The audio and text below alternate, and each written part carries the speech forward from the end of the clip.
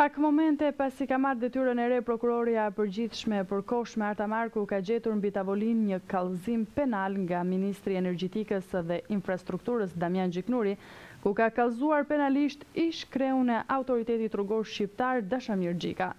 Shkak për këtë kallëzim mësohet të jetë bërë aksi rrugor Elbasan-Tiranë.